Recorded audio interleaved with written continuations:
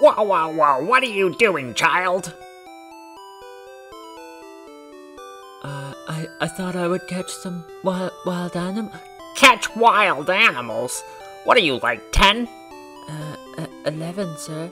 I can't believe you. You're the second child I found wandering around in the tall grass unsupervised. That's it. Come with me.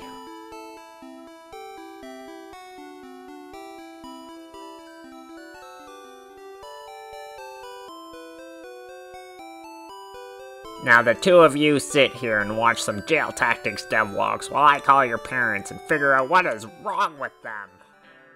Hey, hey, welcome to another Jail Tactics devlog. I'll be your host for the remainder of the vlog. Please keep your eyes and ears directed to your screen for the remainder of this ride.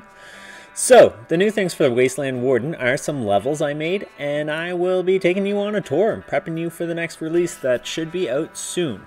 Without further ado, I very quickly showed you guys the two levels that I had made before the last devlog, but I thought that I would have a closer look this time.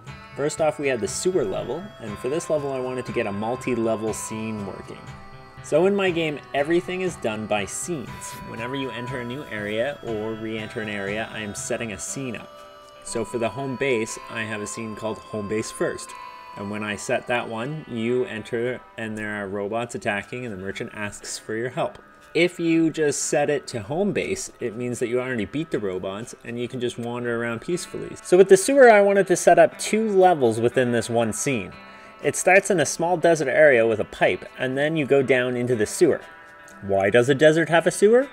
Because there are only so many things in a real desert, so I had to fudge it a bit. So in this level I have sprites all over the place, and this is really just me seeing what I can get away with.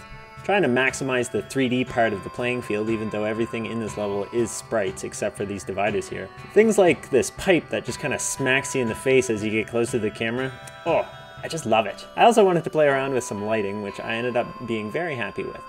As I work out this style, I'm also collecting these objects, and uh, that way I can use them in later levels. This will hopefully make the later levels go a little faster when I'm making them, and also give me lots of ideas and tools to use to make those levels. So, much like the first level, each level will have some sort of dialogue that tells a bit of a story and unlocks a new enemy that you can capture for your team.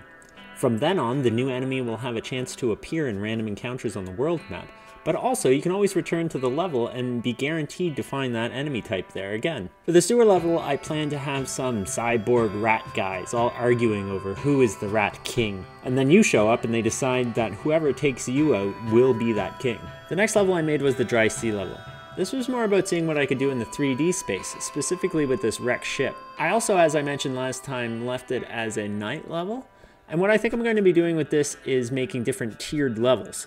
So all the levels that are close to the base on the world map are going, are going to be tier 1 levels. But as you walk a little bit further away from the base, everything shifts to a night mode the world map will get a little bit darker. And then these will be a little bit more difficult as you get further away from that. It'll go back to day and you'll be in tier 3 levels. Not only is it a visual signification of the difficulty increase, but also just a variety in the levels that I can play around with. I also made the water meter, which ticks down as you walk around in the overworld map. And what this does is prevent anybody from going into tier 2 right at the beginning of the game. You actually have to go find the truck, unlock that, and then you can travel a little bit further, a little bit faster. You'll get to tier 2 before you have to find more fuel for your truck. But anyways, back to the ship. Uh, the idea for this story is I'm going to make some sort of pirate cyborg that lives in the ship and is interested in stealing all your fine treasures. And that will be the uh, character that you unlock during this level. The next level I made was the desert buyout level. This came from a necessity to make some desert props for all the levels. I wanted some cacti and Joshua trees that I could slap down on any level as I'm going through here, so I worked out a whole bunch of desert props in MagicVoxels. This is also level with a lot of blocked off areas. This is going to be the real reason for different levels, really, in the end. The grids get turned off where it overlaps with these objects, and it makes moving around in a battle a lot harder. I'm not 100% sure what the scene will be for this level, but I think of some sort of like rival character that might appear a few times throughout the game if you happen to find his levels, and he'll eventually help you fight some bosses or something if you uh, find enough of his levels and advance his story on. But I'm not 100% sure of that one yet. So next, since I needed a place to where you could find that truck, I made another set of props for an auto shop. Because how else are you going to keep a truck running in the apocalypse, right? Originally planned to put a pixel art gas station in the background, but when I was trying to line up the parking lots, it kind of did not make any real sense, and I had to scrap the background. Or at least I'm thinking of turning it into its own level that offers a refill for the truck as long as you fight the baddies that are there. During the process of trying to get the background to work, I ended up making this infinite background that started to grow on me. So I decided to have a level that doesn't actually have any pixel parallax art background. This one is just a ground tile that goes on forever. The scene here will be some bandits trying to run you over when you get there and you have to beat them and commandeer their truck. Each level I make seems to be cooler than the last, in my own personal opinion, so it may not be a big surprise when the last level I made was my favorite. I wanted a junkyard level where you find a doctor. Since everyone is either a robot or a cyborg, a junkyard mechanic would be the closest thing to a doctor, right?